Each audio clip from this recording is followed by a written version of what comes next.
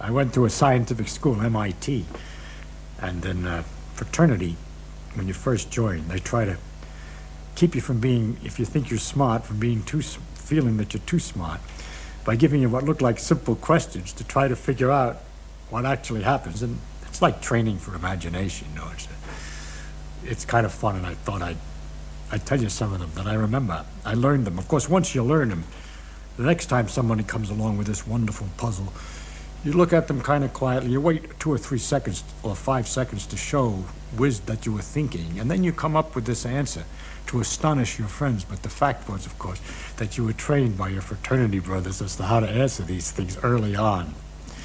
Uh, one of the questions we used to we got was uh, the problem about the mirror. It's an old-fashioned, it's an old problem. You look in a mirror, and let's say you part your hair on the right side. Then you look in the mirror, and the image has got its hair part on the left side. So the image is left to right mixed up. It's not top and bottom mixed up because the top of the head of the image is up there at the top and the bottom of the feet is at the bottom. And the question is, how does a mirror know to get the left and right mixed up and not the up and down? You get a better idea of the problem if you think of lying down and looking at the mirror. All right, your hair is still on the left side, and now the left and right was the up and down, whereas the up and down, which look okay, was the right and left before. And the mirror somehow figured out what you're going to do when you're looking at it. So, what to describe in a sort of symmetrical way what a mirror does, that it doesn't look lopsided, that it takes left and mixes it up with right, and it doesn't do the same with up and down.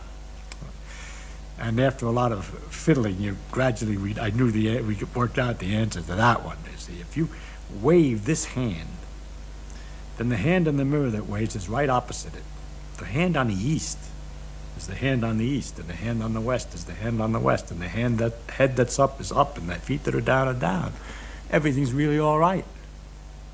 But what's wrong is if this is north, your nose is to the north of the back of your head, but in the image, the nose is to the south of the back of the head.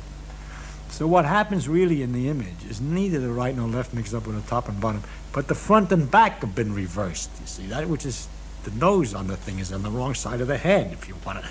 All right. Now, ordinarily, when we think of the image, we think of it as another person. And we think of the normal way that a person would get into that condition over there. It's a psychological thing. We don't think of the idea that the person has been squashed and pushed backwards, forwards with his nose and his head, because that's not what ordinarily happens to people. A person gets to look like he looks in the mirror by walking around and facing you. And because people, when they walk around, don't turn their head for their feet, we leave that part alone. But they get their right and left hands swung about, you see, when they turn around. And so we say that it's left and right interchanged. But really, the symmetrical way, it's along the axis of the mirror that things get interchanged. Well, that's kind of an easy one. A harder one, and very entertaining, was what keeps a train on the track?